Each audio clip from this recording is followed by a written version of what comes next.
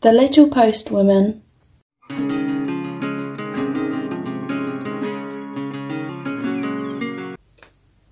Billy Brightfield, the goat father, was the village postman.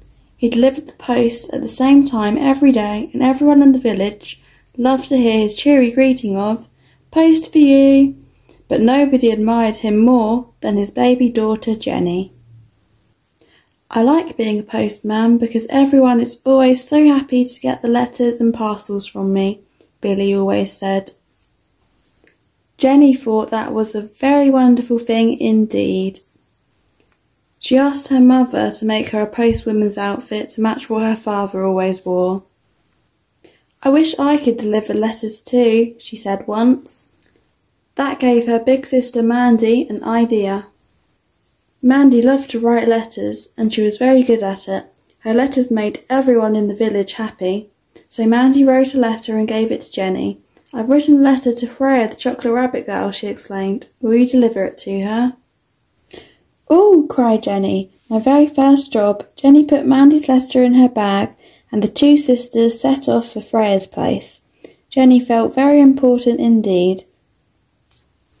Along the way to Freya's house was the village square where the swings were. Jenny loved those swings, but she didn't go on them today. She had something more important to do. Come play with us, Jenny, her friends called. I'll play later, Jenny replied.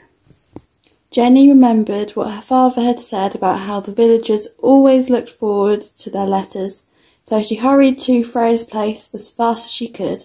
When they passed the flower field, there were lots of beautiful flowers in bloom. Let's pick some flowers for Freya too, Jenny suggested. She loves flowers. Why not? agreed Mandy. And with that, Jenny began to pick the prettiest flowers she could see. There were so many flowers to choose from that Jenny almost forgot what she needed to do. We'd better get going soon, warned Mandy. Oh no, cried Jenny, I'm late. And with that she rushed off with Mandy following behind her. At last, Jenny reached Freya's place. Post for you, Freya, she cried. Sorry I'm late. Freya was very happy to get the letter and flowers, just like Jenny's father had always told her. What a good little postwoman you are, Freya said. Now I'll write a letter to Mandy, and you can deliver that too.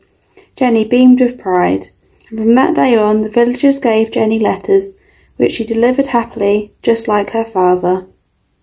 The end.